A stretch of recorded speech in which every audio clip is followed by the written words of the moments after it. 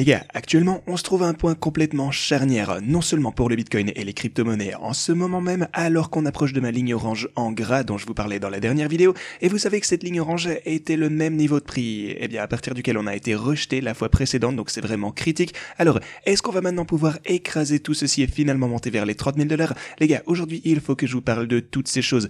On est en train d'assister à un changement énorme pour les marchés actuellement. Je vous parle de ce graphique depuis, eh bien déjà un petit moment, près d'une année, je pense. Et aujourd'hui, eh bien, il faut que je vous donne une mise à jour extrêmement, extrêmement importante parce qu'on voit actuellement, encore une fois, comme je vous disais, un changement massif qui se déroule sous nos yeux. Donc, oui, encore une fois, c'est quelque chose qui va tout changer potentiellement pour le marché à l'avenir. Alors, encore une fois, on a un épisode bourré, bourré d'actions aujourd'hui. Restez dans le coin, il faut qu'on parle d'un tas de choses super importantes qui sont en train de se dérouler. En, fait, l'objectif, je veux vraiment pas que vous soyez sur la touche ici, que vous soyez pris au dépourvu, car on voit d'énormes opportunités s'approcher, eh bien, à grands pas alors assurez-vous de regarder ceci du début jusqu'à la fin. Bienvenue à tous, je m'appelle Maxime et je vous apporte chaque jour des nouvelles vidéos en français sur les crypto-monnaies en vous apprenant comment vous faire de l'argent sur ce marché. Si vous êtes nouveau sur cette chaîne, alors soyez sûr de vous abonner et d'activer la cloche dès maintenant. Ok, ceci étant dit, on a récemment gagné des sommes de dingue ensemble sur la chaîne en identifiant correctement les niveaux de prix les plus importants sur le marché. On a pu identifier ce qu'on pensait que le marché allait faire à l'avenir. Euh, par exemple, du bas de cette boîte orange ici, ce niveau de support énorme, eh bien vous pouvez voir qu'on est actuellement à un point de profit de 35% en l'espace de bah, quelques jours, quelques semaines, ce qui est absolument fantastique. Maintenant, la dernière fois qu'on s'est approché de cette ligne orange, comme vous le savez certainement, eh bien, je soulignais le fait qu'il s'agissait d'une énorme résistance. Vous le savez, c'est pour ça qu'elle est plus en gras ici, vous pouvez la voir juste là, et c'est vraiment un point logique pour rencontrer des difficultés à percer ce moment. Euh, donc oui, à partir de là, on est redescendu, on a trouvé un soutien énorme, encore une fois, juste ici, à partir de la boîte orange à plusieurs reprises, et maintenant on est en train de se repropulser un petit peu plus haut. Et bien entendu, bah, tout ceci est plus susceptible de percer maintenant au deuxième essai par opposition au premier essai bien entendu. Donc on garde un œil sur tout ceci les gars, si jamais on réussit à dépasser ceci, et c'est vraiment qu'une question de temps, de toute façon ça va arriver, même si on voit un autre pullback, ce n'est qu'une question de temps jusqu'à ce qu'on finisse finalement par franchir ce niveau. Mais si on n'a pas réussi à percer ceci sur cet essai, enfin plutôt si on y arrive, vous aurez les niveaux de 30 000 dollars, un énorme niveau, c'est un niveau de résistance euh, massif, même psychologique en fait. Donc si on réussit jamais à percer ceci, ce sera un point logique pour qu'on ait eh bien une grosse résistance, potentiellement un point de renversement, et il faudrait vraiment beaucoup d'élan pour pouvoir dépasser ceci. Et c'est pour ça que la zone est si large d'ailleurs. Il y a aussi d'ailleurs une ligne rouge supplémentaire ici pour vous dire. Donc oui, on va d'abord voir tout ceci, chaque chose en son temps. Est-ce qu'on va pouvoir franchir ce niveau? Eh bien, il y a quelque chose pour le coup qui pointe vers le fait qu'on pourrait bel et bien continuer à la hausse prochainement pour le Bitcoin. Maintenant, la première chose dont j'aimerais vous parler ici, eh bien c'est ouais, déjà de ce côté sur les graphiques, sur l'intervalle journalier juste ici, c'est qu'on approche également d'un grand niveau de résistance qui est à 27 500 dollars. Vous pouvez voir en fait à combien de fois on a été rejeté au-dessus de ce fameux niveau de résistance. Boum, boum, ici, plusieurs fois encore d'affilée. Donc ouais, maintenant, si jamais on parvenait à avoir une autre grosse poussée ici, eh bien, vous vous en doutez, il faudrait être à l'affût de tout ceci. On a quelques niveaux de résistance vraiment clés pour le Bitcoin, ainsi que pour les marchés traditionnels d'ailleurs. Vous pouvez voir que les marchés traditionnels de leur côté ont bien réagi récemment également. Et alors, dans tout ceci, pourquoi? Oui, parce qu'on est en droit de se demander ça en fait. Euh, il y a la semaine dernière, tout allait pour le bah, pire. Alors, pourquoi le Bitcoin et les marchés traditionnels réagissent bien? Eh bien, laissez-moi vous montrer ceci. Je vous montre ça depuis au moins, je dirais, 8 ou 9 mois, et je vous avais montré les projections du bilan de la Fed, qui, bah, simplement le fait qu'elles échouent à chaque fois. Alors, permettez-moi un peu de vous rappeler euh, comment ça fonctionne ici. C'est un graphe, ouais, pour le coup, un peu dépassé, c'est obsolète, mais ça prouve, ça prouve mon argument quand même. Donc voilà ici le bilan de la Fed, les actifs qu'ils détiennent dans leur bilan, et bah forcément, le plus ils en, ils en ont acheté, euh, bah, plus les actifs augmentent, les marchés s'en sortent pour le mieux. Maintenant, voilà le truc. Les projections vers lesquelles ils pointaient en 2010, par exemple, eh bien, ils nous projetaient bah, qu'ils allaient réduire leur bilan. Mais vraiment, bah, le truc, c'est que les projections, ils ne les ont jamais respectées. Ça ne s'est jamais réalisé selon leur plan. À part peut-être juste ici.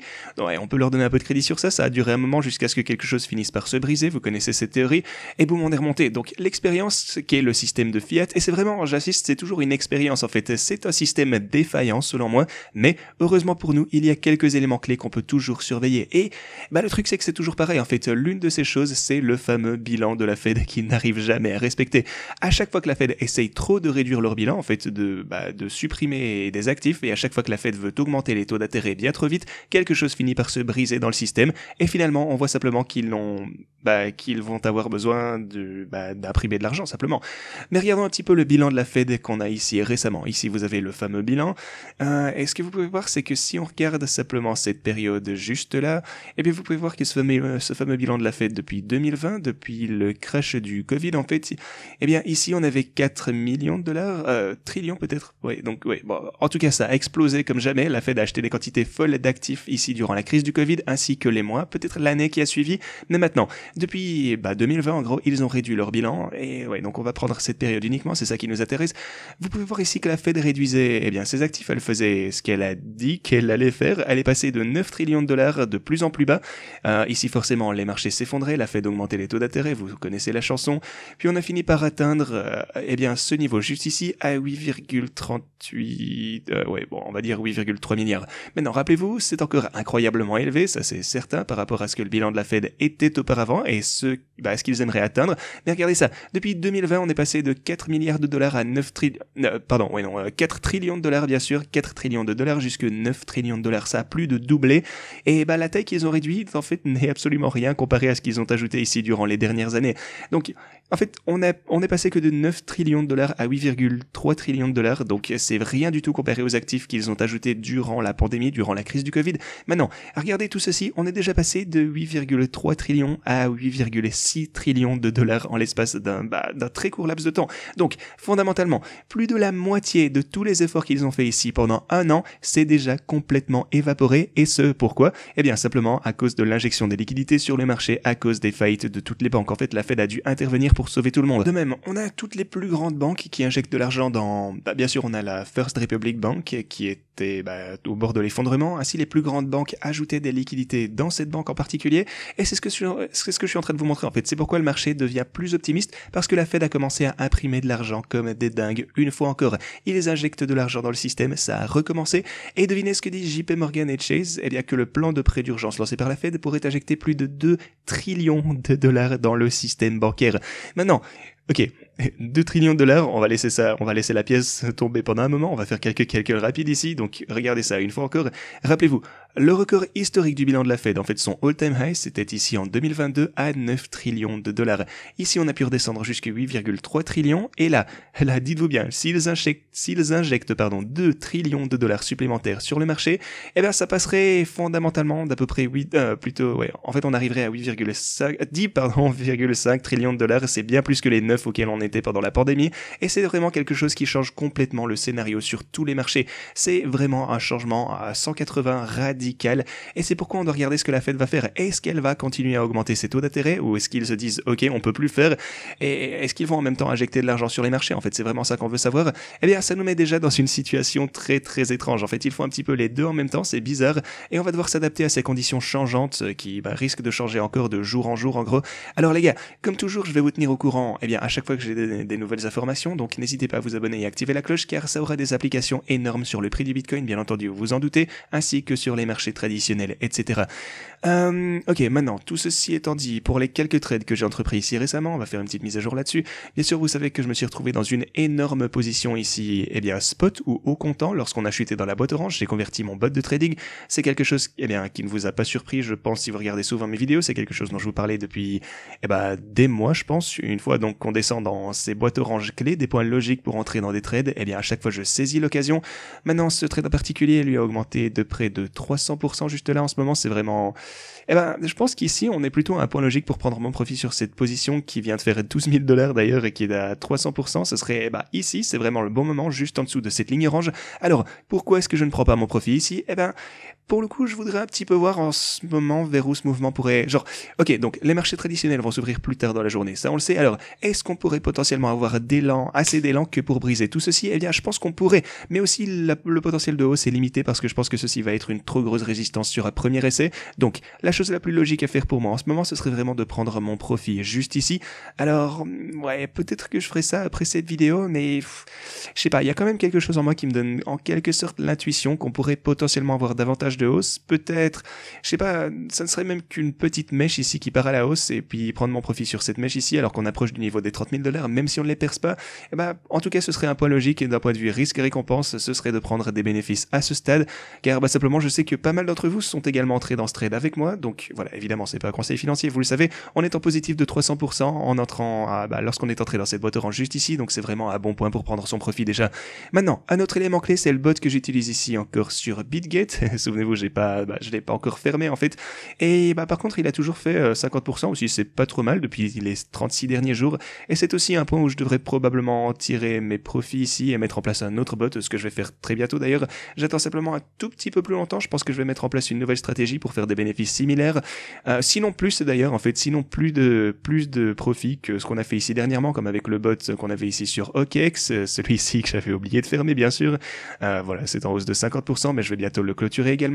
Mais voilà, je cherche à faire encore davantage de profits sur les prochains bots ainsi que sur mon prochain trade. Donc, euh, si vous voulez connaître ma stratégie, si vous voulez suivre tout ceci, eh bien, bah forcément, c'est pas des conseils financiers, vous le savez, mais si vous voulez au moins, je dirais, ne serait-ce qu'avoir mon avis sur ce que je pense qu'il va se passer, eh bien, n'hésitez pas à vous abonner et activer la cloche comme toujours.